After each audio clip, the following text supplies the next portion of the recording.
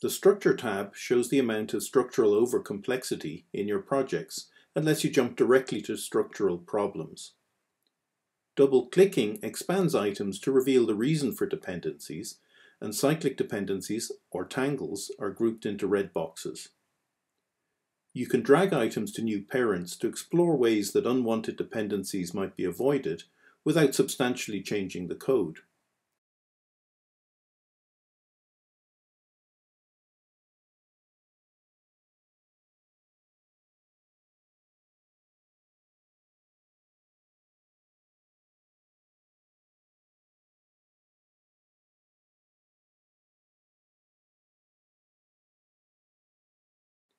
You can create multiple action lists to explore different solutions and switch to any list at any time.